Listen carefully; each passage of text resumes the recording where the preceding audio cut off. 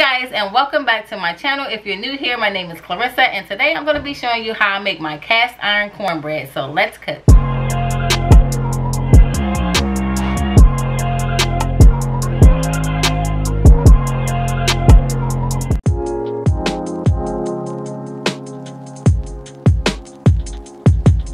So i have my cast iron skillet here. To this i'm going to add two tablespoons of butter and I'm just gonna put this in the oven on 400 degrees just to let my butter melt and let my pan get hot. So here I have one and one fourth cups of cornmeal and three fourths cup of all-purpose flour. To this I'm gonna add one teaspoon of salt, a half a teaspoon of baking soda, and two teaspoons of baking powder. And I'm just gonna pour that in.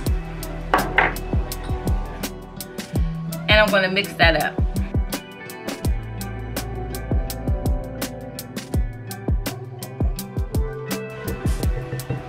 And I'm gonna set this off to the side. So now I'm gonna start on my wet ingredients. And I'm gonna mix one cup of buttermilk,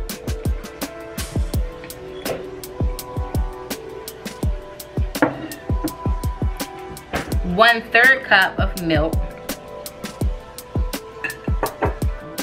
one fourth cup of sugar.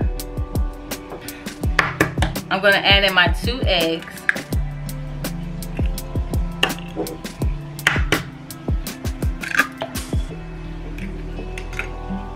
And a half stick of melted butter.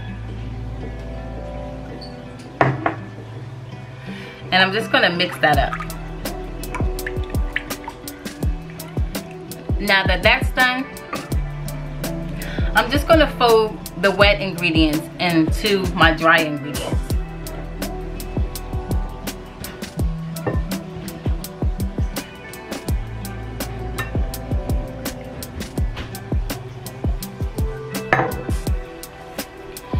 And you just wanna mix this together until it's just mixed. You don't wanna over mix this. If it has some lumps in it, that's okay. Now you want to let this sit for about 5 to 10 minutes. So I just took my pan out the oven and what you want to do is just swirl some of the oil around the entire pan just to get that butter spread out.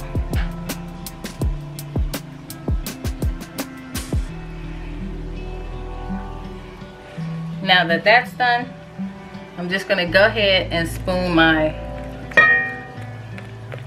cornbread mix in.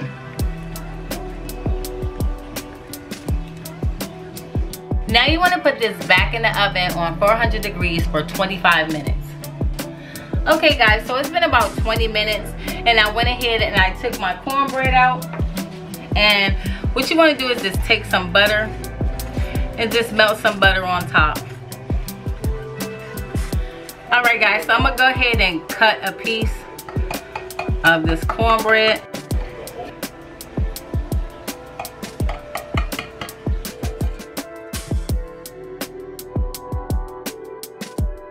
And here's our cornbread up close, guys. It's nice and moist. You can see how soft that is and delicious. I hope you guys enjoyed this video. If so, don't forget to give it a big thumbs up, like, share, subscribe, put in your post notifications so you know when I upload new videos and I'll see you guys next time. Bye.